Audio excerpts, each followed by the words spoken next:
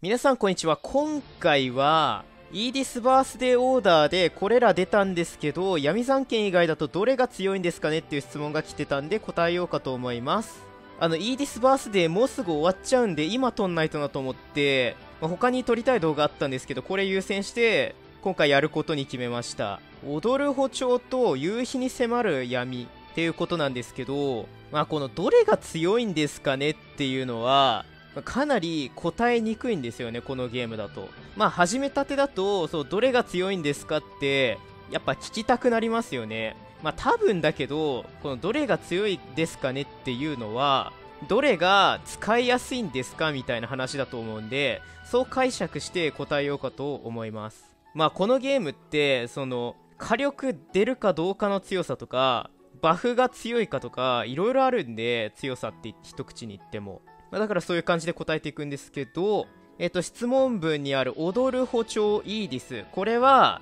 覚醒スキルっていうやつで、で、始めたての人は、覚醒スキルを1枚でも多く持っておくことが重要なんですよ。で覚醒を1枚でも多く持っておくと、このステータス画面からいける、この覚醒率見れる画面行くと、なんかこの覚醒率っていうものがあるんですよ。で覚醒率高いほどこのダメージ上昇値っていうのが上がっていくんですよ例えば今覚醒率55%だとしたらこれと同じ数値になるんですよねそのダメージ上昇値が覚醒中のですよでまあその覚醒率って覚醒レベルっていうのがあってまあ、覚醒の聖樹っていうアイテムでレベル上げできるんですけど覚醒レベル1ごとに覚醒率っていうのが2%上昇するんですよ。まあ、2%ダメージが上がるみたいなものですね。だから覚醒レベル5だと10%増加するんですけど、まあ、この10%分って他のそのクリティカルダメージ10%とかと違ってこの10%の重みってめちゃくちゃ大きくてダメージ計算式的に。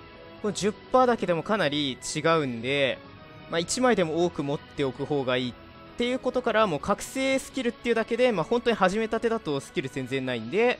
まあ、そういう点だけでも十分当たりだと思うし、なんといってもこのホムラ劇のお兄さんバフって読むのかな？非属性ダメージが上昇するバフ効果があってでこれスタックじゃないバフ効果の中だと一番数値高いやつなんですよ。まあその代わり8秒間ってちょっと短いんですけどまあ、これは片手直剣のスキルなんで、まあ、片手直剣の時にしか打てないんですけどそう考えると、まあ、非属性が弱点のボス100層フロアボスとかで使うことになると思うんで100層フロアボス特にねこの防御弱化3デバフもかなりあの効くんですよ。あの100層フロアボスって防御低下デバフを入れるとあの高いダメージが出やすいみたいな仕様があるんで、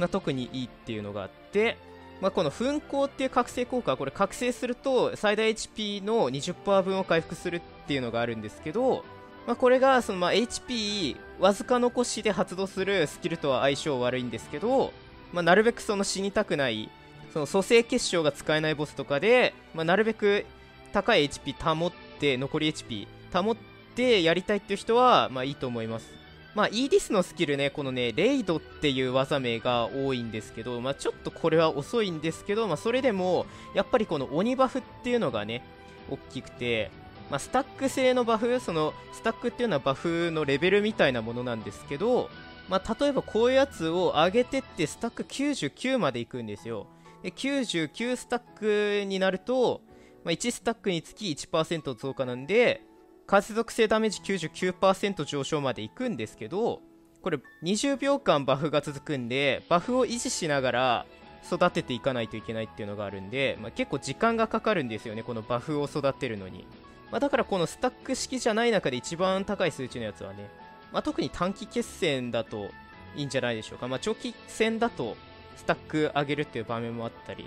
まあ、83層フロアボスとかね攻撃チャンスが限られてるものだとまたまたちょっと話が違ってくるんですけど、まあ、とにかくこういうのが、まあ、十分強いですね、まあ、これも同じ攻撃モーションレイドなんでちょっと見てみましょうか。装備しました。でちょっと撃ってみるとまあちょっとねちょっと遅い。まあめちゃくちゃ遅いってわけでもないけど結構前に突進して進んでっちゃうんで、まあ、そのせいで、まあ、被弾とかする人もいるんですけどそのボスによってね被弾しやすいとかあるんですけど、まあ、突進していくんでほんのちょっと離れてから攻撃するっていうのもできて、ボスの攻撃が終わるタイミング見計らって、まあ、発動してから、まあ、攻撃が終わった直後に攻撃当たるように、まあ、タイミング見計らって撃つっていうのができますね。まあ場面によるんですけど、まあ、だから簡単に言うと非属性が弱点の敵に使える。でまあ覚醒スキルだから別に外れってわけでもない。でスイッチゲージも、まあ、39ぐらい溜まるんで、まあ、悪くはないなっていうぐらい。あと夕日に迫る闇っていうやつですけどこれですね。まあこれウィンドパイルなんですけど始めたての人だと、まあ、結構使うのが厳しいかもしんないんですけど、まあ、上の階層行けば行くほどあの属性耐性っていうのが高くなっていくんですよ。50層超えてからですね。でそういう敵はその属性ダメージ上昇のバフとかかけると属性耐性がちょっと緩和されていくんでまあ、こういうパイルバフを維持していけるんだったらそのストーリーだと結構強いかもしんないですね。でまあやっぱモッドコネクトアクセルだとこのスキル力結構高めなんで、まあ、ストーリーで使いやすいんじゃないでしょうか、まあ、ただ単体攻撃なんで、まあ、モブのまとめ狩りとかはできないんですけど、まあ、これスイッチがね78もたまるんで、まあ、結構いいスキルだとは思います。ただストーリークリア後でなんかそのやり込み要素の周回とかする場合はあの火力としては使われない感じですね。そのやっぱり火力って言ったらまあ、このモッドスキルってやつですね。モッドスキルってやつにその他のやつを装着して、まあ、撃つやつ、まあ、こういうので火力出したりあとはそのコネクトスキルのこの連結効果強いやつで火力出したり、まあ、バーストでめっちゃ強いやつ最近出てますけど、まあ、そういうので火力出したり、まあ、昔のバーストは弱いんですけど。だからこの中で言うとまあ、ストーリー途中だったら、まあ、この夕日に迫る闇っていうのは結構いいと思うし、まあ、これも全然いいと、てか、全部いいですね。あの、ストーリー途中だとね。まあなんかストーリーだと、ボスと取り巻き大量に湧くみたいなこともあるんですけど、そういう敵にはね、やっぱ全体攻撃じゃないんで、あの、まとめ狩りとかはできないんですけど、まあ、ボス倒すとか、まあそういうのだったら、まあスキル威力高い方だし、まあ全然いいんじゃないでしょうか。ただストーリークリア後で言うとこの2つはまあどうなんだろう使いやすさで言うとな使いやすさっていうか覚醒スキルだから、まあ、踊る歩調こっちのがやっぱ覚醒っていう点でいいって言えるけどなんかそう単純な話でもないんだよな、まあ、これはアクセルスキルだから、まあ、スイッチ枠に入れて、まあ、ストーリーで使うっていうこともできるしまあ、ウィンドパイル上げるためにね、あの、アクセルしてもいいんですけど、うん、やっぱ踊る歩調かな、覚醒ってだけで。いや、でも難しいね。ストーリークリア後は火力としては使えないです、そんなに。あ、でもさっき言ったような、こういう火力コネクトの、あの、3連結目で、なんか例えばその残風属性が強くなるみたいなやつがあったら、例えば今出てるこのクロニクルオーダーのこの共に歩む道キリトみたいなのがあったら、まあ、3連結目で攻撃力5000上昇の風ダメ150%上昇なんでスキル威力が高めなんで、まあ、そういうところに入れるのもいいとは思いますけど、まあ、持ってたらだよね。持ってたら強いです。あとはイーディスのスキルの中でも、まあ、何が使えるかとか何が使いづらいかっていう他のイーディスについてもね触れていこうかと思います。まずこのピックアップで出たやつですね。でこれが、まあ、残属性の弱点ダメージ、イーディスが増えるごとにね、上昇していくんで、これめっちゃ強いんですけど、残属性が弱点の敵にしか使えないっていうのが問題で、まあ、残属性弱点のフロアボスの迷宮区の道中とか、まあ、ボス戦でもね、すごくいいんですけど、まあ、イーディス、この1つ下の4枚以上っていうのも結構厳しくてでイーディスのスキルって闇属性強化効果のやつが多いんで闇属性弱点残闇弱点のやつが結構いいんですけどボス戦だとなんか、まあ、使いづらいっていうのはあるんですよ、まあ、それでも、まあ、無理やりイーディス入れて使うっていうやり方ももしかしたらいいかもしれないんですけどまあ、新しいインテシリーズが来ると一番最初に実装される迷宮区って残属性弱点のがなんかずっと来てないんですよねここのところ。だから一番最初残弱のボス来ないような気がするんでまあなんかインテシリーズの進化とかの階層になっちゃうのかなこれ使うとしたら。残属性ダメージなら良かったんですけど残属性弱点ダメなんで残属性っていうと、まあ、階層フィールドのモブ狩りでもあの47層とか50層って残属性が弱点じゃないんでまあ48層が残属性弱点だっけ？残性だっけ？忘れたけど、まあ、そこなら使えるけどあのめちゃくちゃ強い人って階層フィールドのモブを通常攻撃でワンパンで倒すんですよ。だからそういう時だったらいいけどなかなか難しいですね、まあ、50層以下でも、まあ、残弱って言ったらやっぱブラッケンとかになっちゃうんでまあグリームアイズとかも使えるし、まあ、カオスダロスとかももしかしたら使えると、まあ、カオス魔人か闇属性強化だからどっちかというとそっちか、まあ、使えそうな気はするけどもしかしたら使う場面が限られてくるかもしれない。まあでも強いことには変わりないんですよね。だから、まあすごいおすすめではあるけど、めっちゃ使うかどうかはちょっとわかんない。で、次これ、深淵の騎士イーディスっていうのがあるんですけど、まあ、この必殺の居合4っていうのが HP99% 以上でクリ率、まあ、貫突で50%上昇になるんですけど、まあ、これ50%上昇なんでもう一つ50%上昇があると100%にできて、まあ、階層フィールドのモブ狩りであの通常攻撃ワンパンで、まあ、あのめっちゃ強い人ならですよあの始めたての人は、ね、無理かもしれないですけどめっちゃ強い人はなんかそういうのができたりとかするんで、まあ、こういうね特訓の成果っていう効果があるスキル持ってたら、まあ、これと使って、まあ、自身のレベルかける0.25%ってあるんですけど、まあ、今最大レベル220だっけ？だから、まあ、200以上って考えると25%かける200であ0.25か0.25かける200で、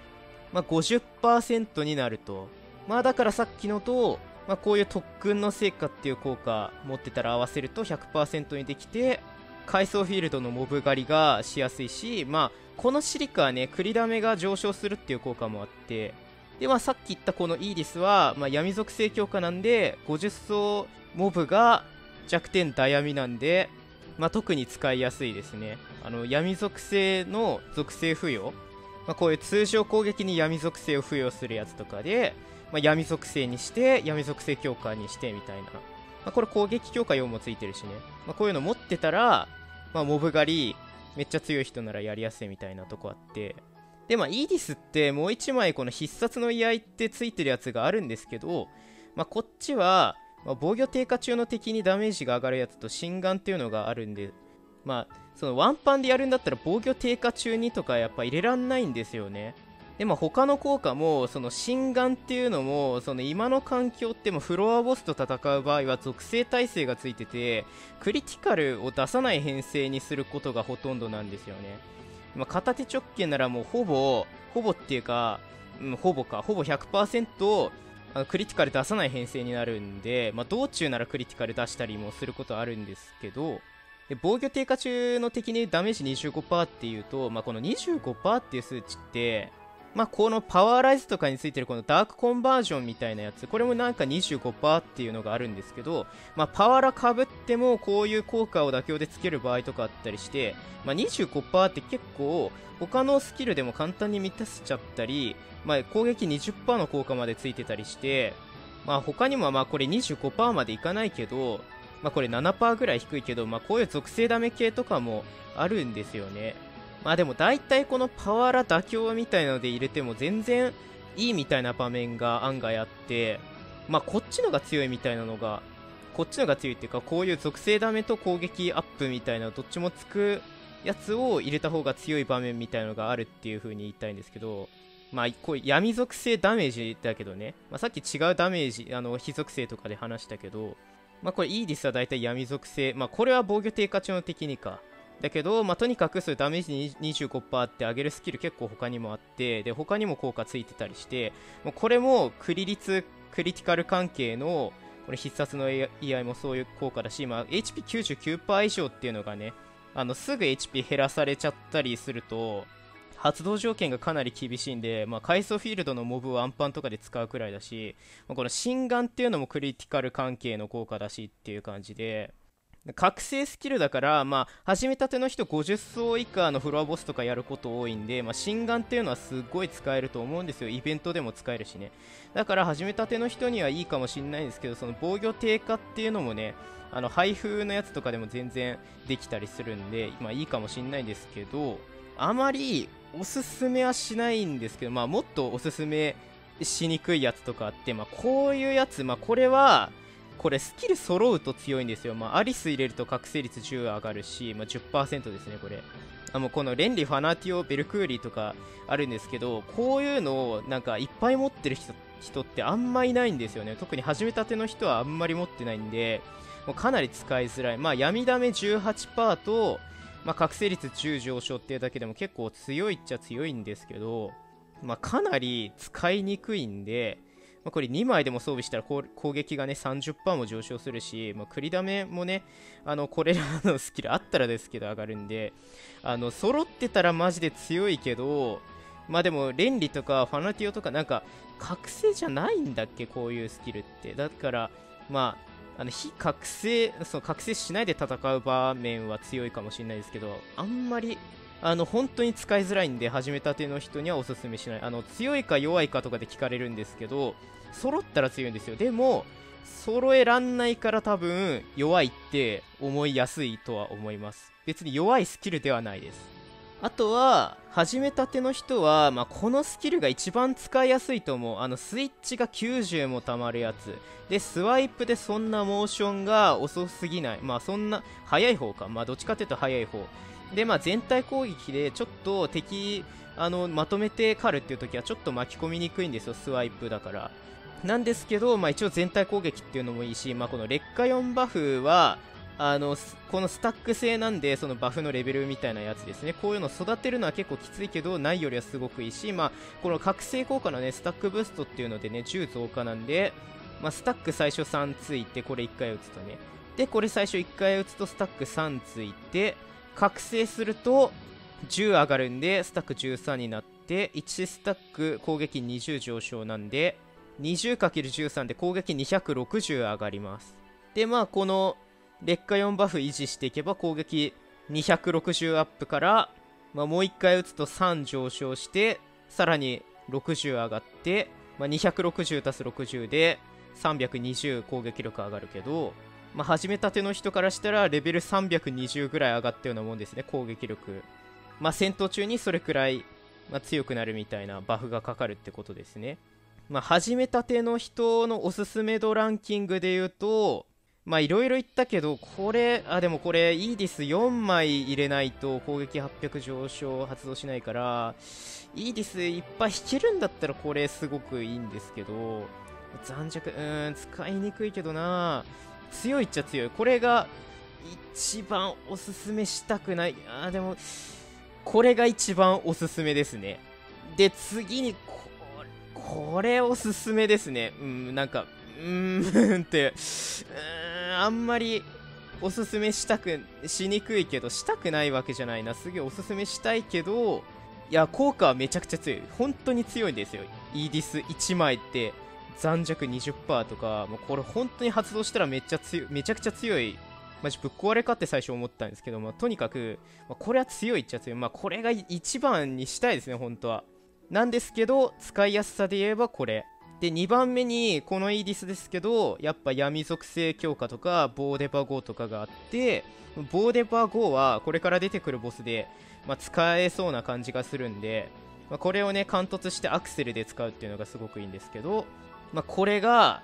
3番目かな。まあ、これ始めたての人のためのおすすめ度ランキング的なやつなんですけど、正直、これ持ってなくて強い人だったらこれを一番おすすめしたいぐらいですね。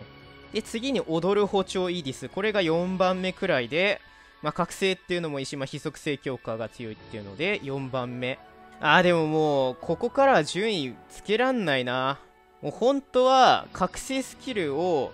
もっとおすすめしたいんですけどこれもなんか、まあ、コネクトに入れたりして結構いいんでもうなかなか難しいんで、まあ、おすすめ度、まあ、5位くらいまでにしておきますかね。で、まあ、特にこれは始めたてだと本当に使いにくいんでおすすめしないですね、一番。ただ、全部これ発動させたらすげえ強い。あでも6番目おすすめこれかなでも始めたての人通常攻撃ワンパンでモブ枯れるかわかんないしまあでも闇ダメ上昇効果があるんであと覚醒効果強撃っていうのがあるんで、まあ、なんかで使えないこともないんでもうこれがえっと6番目かな、まあ、結局あれだな5位までとか言ったのに言ってるな。これが7番目。本当はこれ5番あ6番目くらいにしたいけどこれが8番目かな。どうなんだろう。スイッチ上がるからないいんですけど始めたての人はやっぱ覚醒スキル1枚でも多くあった方がいいんで。で最後にこれですね。でまとめるとイーディスのスキルどれが強いのみたいな話では火力出すものはないんで火力っていう点では強くないです。あの火力出すスキルがない、まあ、ストーリー途中だったらまあ、この夕日に染まる闇ってやつでも全然いいし、まあ、スキルスキル力高いやつ引ければいいみたいなのあるんで、まあ、ストーリーでは強いです。使いやすさで言うとこれが一番いいです、まあ、場合によってはこれコネクトに入れて、まあ、スイッチゲージ稼ぐっていうのもあると思うんでモーション短いし、まあ、大体そんな感じです。ご視聴ありがとうございました。チャンネル登録していただけると次の動画作りのやる気が出ます。ではまた。